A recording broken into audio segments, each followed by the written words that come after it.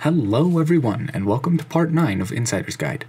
Today, we're discussing a less well known ski resort that's been starting to make a name for itself. For those of you who are new, in this series, I share insider's tips and knowledge with all of you about ski resorts aimed at maximizing your day. With that, let's begin an Insider's Guide to Ski Resorts, edition Wolf Creek. Now, Wolf Creek is well known to receive the most snow in Colorado.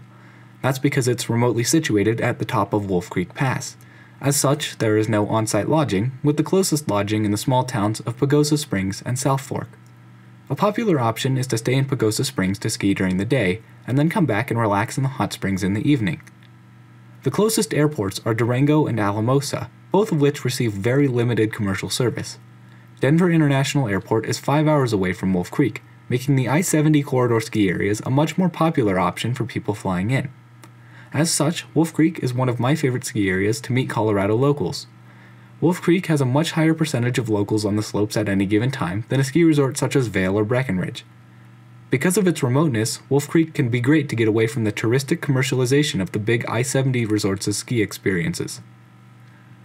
You'll often hear that Wolf Creek isn't ever busy, which is only partially true. Come on a weekend powder day, and you'll be sure to find plenty of lines and crowds. However, just as with any ski area, there are still ways to avoid the lines, and at Wolf Creek, it's pretty easy. One other thing to beware of on those busy days is parking. I would highly, highly recommend getting to Wolf Creek well before the lifts open at 9. Parking can be a nightmare, as can be buying lift tickets, so be sure to give yourself plenty of time. And also, if you get there too late, you might find yourself parking in the overflow lots and having to ride the bus or take a hike to get to the ski area. When you get to Wolf Creek, it is definitely worth considering packing a lunch.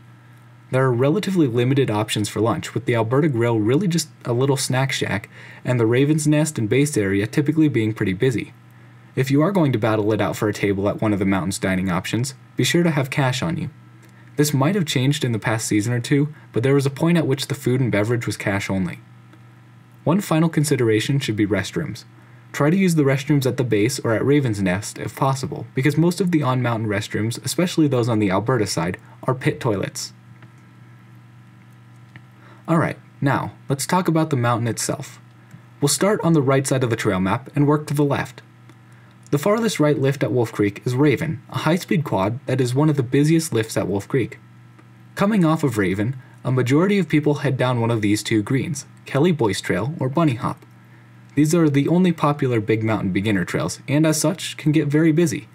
You'll consistently find families and lower level skiers lapping Raven to Kelly Boyce for the entire day.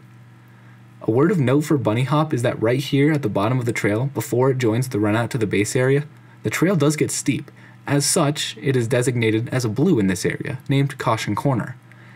There is this little cat track, Easy Out, that goes around the steep section as well. Just be ready to either go around on easy out or hit a little bit steeper section if you're coming down bunny hop. Now, as I've said earlier, Raven is one of, if not the most popular lift in all of Wolf Creek.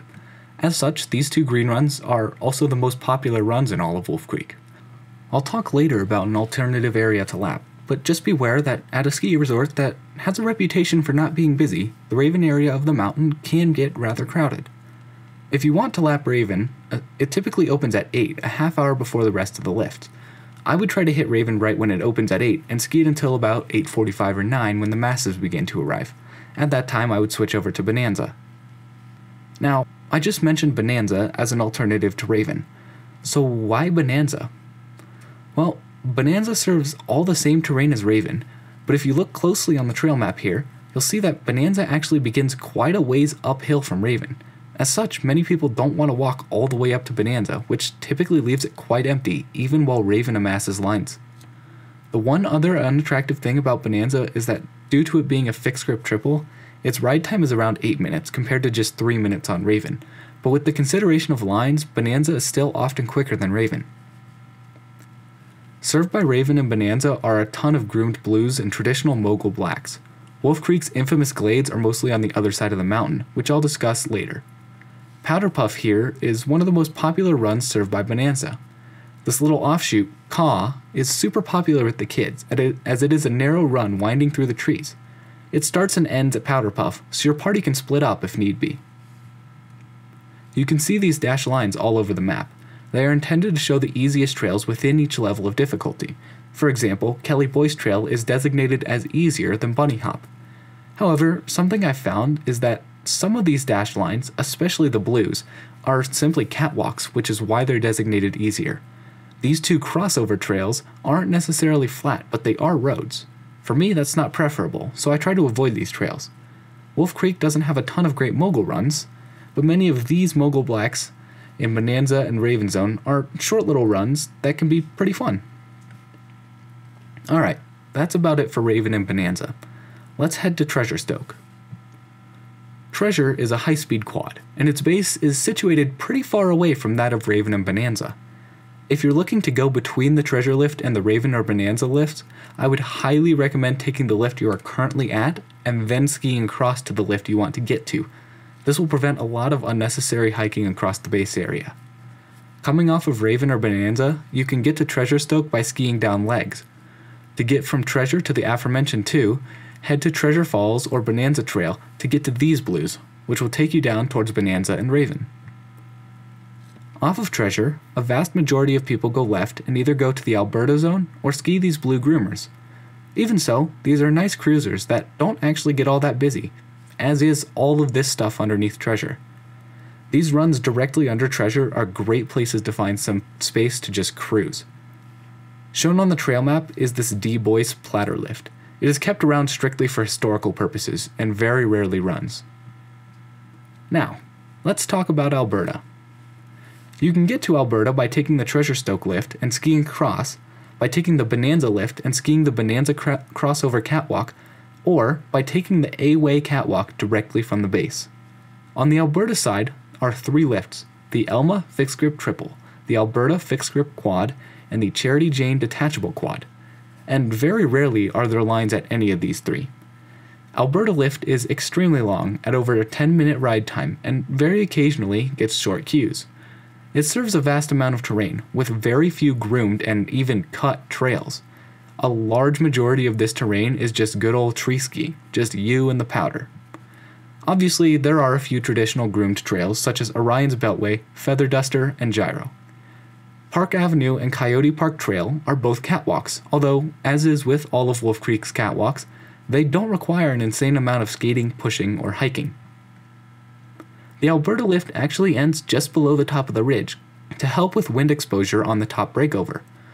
You can hike up that extra little bit to the top of the ridge when it's open and hike along to access all of these chutes or more tree skiing over here. Generally, the farther away from Alberta you get, the more untouched the powder will be. Many a time has there been untouched powder several days after a storm all the way out at Voodoo Bowl or Sleeping Beauty Glades. Even as is, Alberta serves so much terrain that it's easy to get away from everybody else and find that it's just you, the trees, and the snow. This waterfall area, accessible from either Treasure Stoke or Alberta, are chutes similar to those along the ridge, except for the fact that Waterfall has dense trees.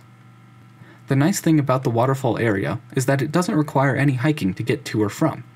That does, however, mean it can be a touch busier than the other chutes at Wolf Creek. Now, if you're a relatively experienced skier that has skied plenty of areas, then you know that something's a little bit off about this trail map we're looking at. Right here in the middle of nowhere is a beginner high speed quad. Never mind the fact that there's no way to access Charity Jane from the base area on greens. Wolf Creek wanted their new green terrain and they were going to get it one way or another, damn it. Charity Jane is empty. Always. I have never seen a line at Charity Jane.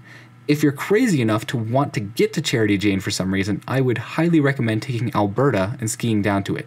C. Elliott Parkway is the one catwalk at Wolf Creek that requires you to push the whole way. Charity Jane's got some nice groomers to relax and cruise, but boy is it useless. Oh, and also, don't get caught in the expanse. I think that's enough said about it. Now, to leave the Alberta area, you have two main options. Off the top of Alberta, you can take Park Avenue to Navajo Trail, which will take you back to the treasure side of the base area. Your other option is to take the Elma lift from the bottom of Alberta. Elma itself serves a few nice blue groomers, but I personally don't think these trails are worth the painfully long ride time of Elma. If you are coming down these trails, do be warned that it gets extremely flat in this section, so keep up some speed once you start to see the Alberta base. Well, that's about it for Wolf Creek. I know that this was a longer episode than usual Insider's Guides, but it wasn't enough to constitute a part A and B, so if you stuck it out all the way, thank you so much for watching. As always, please put any questions down below. All my love, I'm out.